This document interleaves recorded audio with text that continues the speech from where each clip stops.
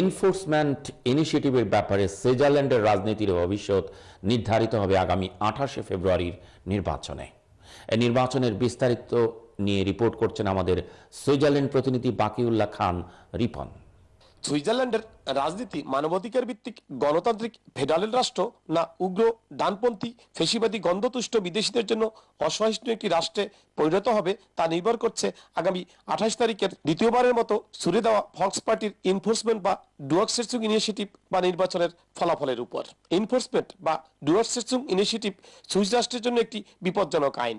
জানালেন MP Nelson গত শনিবার সোশ্যাল ডেমোক্রেটিক পার্টি আয়োজিত জুরিকের হেলবিশিয়া প্লাসের সমাবেশে। Yeah we gonna vote on uh, the 28th of February on a very undemocratic and uh, well I think it's a, it's an illegal law actually.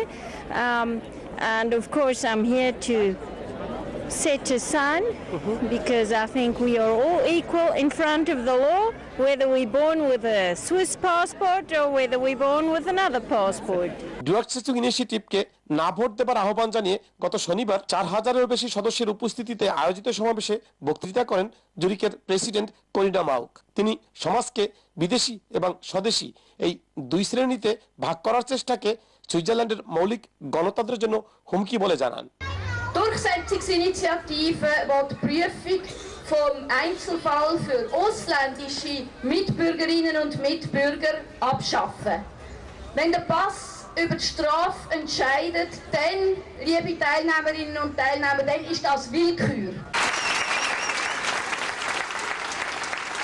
আঠাশে November দুই সালে ডুয়ার্সিস্টুক initiative সাধারণ নির্বাচনে Switzerland ফক্স party তেপ্পান্ন পার্সেন্ট ভোট পেয়ে জয়লাভ করে কিন্তু আইনটি আন্তর্জাতিক মানবাধিকার রক্ষার বিরোধী, সাথে সাথে ইউরোপিয়ান ইউনিয়নের দ্বৈত চুক্তির বিরোধী এবং সুইজে বসবাসরত বিদেশিদের স্বার্থ রক্ষায় মোটেও সহনশীল নয় বিদায়, জাতীয় সংসদের উচ্চকক্ষ, নিম্নকক্ষ আইন, শিক্ষা, কৃষ্টি, এমনকি বিচার বিভাগও সংবিধানে আইনটি সংযুক্ত করতে না সুযোগ ভোট প্রদান করে। তাই জনগণের ভোটের পাশ হওয়া সত্ত্বেও বিষয়টিকে আইনে পরিণত করতে পারেনি সুইজারল্যান্ড ফক্স পার্টি। পাঁচ বছর পর আবার সংসদ নির্বাচনে ভালো ফলাফল করে এবং ইউরোপে শরণার্থী সমস্যাটিকে জনগণের সামনে এনে ফক্স পার্টি আইনটি পাশ করতে আবার ভোটের জন্য আগামী আঠাইশে ফেব্রুয়ারি নির্ধারণ করে। একটি দলের বিরুদ্ধে সারা দেশের সব সক্রিয় দলগুলো জোটবদ্ধভাবে লড়াই করছে এই লড়াইয়ে।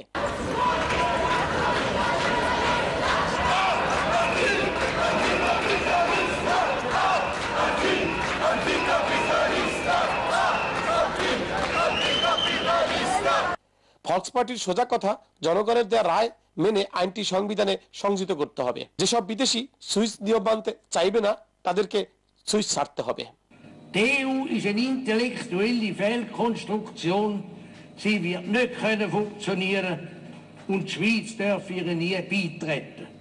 Wir haben das Land bleibt unabhängig, das Land bleibt direkt demokratisch und selbstständig, obwohl alles, was Rang und Namen gesagt hat.